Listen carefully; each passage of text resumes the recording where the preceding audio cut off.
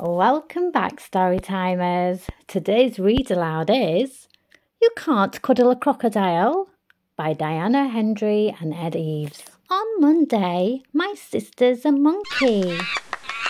I wonder what monkeys eat for breakfast, asks Mum. It's not easy eating anything when you're upside down, says Dad. Choppa, choppa, choppa, choppa.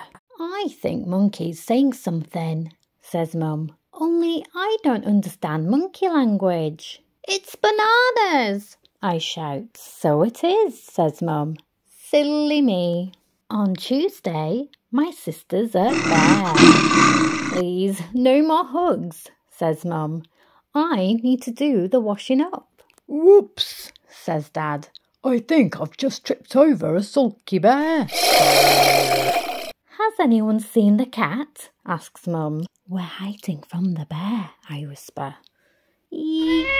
On Wednesday, Mum takes us to the beach. My sister's a camel. Over the desert we go. Humpty bump, humpty bump. Where's my rug gone? calls Mum. On Thursday, we go shopping in the rain. Is there something the matter with your sister? asks the shopkeeper. She's got very odd feet. I don't have a sister, I say. I've got a penguin. Shopping takes a long time when you have flippers, but sliding is faster. Whee! Flip, flap, flip, flap. On Friday, Dad reads us a bedtime story. My sister's a crocodile. Oh dear, says Dad. I do miss my little girl. You can't cuddle a crocodile. Do you think crocodiles like stories? asks Mum. Yes, if they're snappy, Dad and I say together. Snip, snap, snip, snap, snip, snap. On Saturday, my sister's a lion. She goes prowling about the garden, roaring. The postman looks very scared.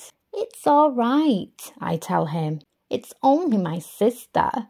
My sister's a zoo. I liked it better when she was your sister, the postman says. So did I, I say. But on Sunday, my sister's my sister again. She's Freya all day long. Oh, says Mum, you're back. Welcome home.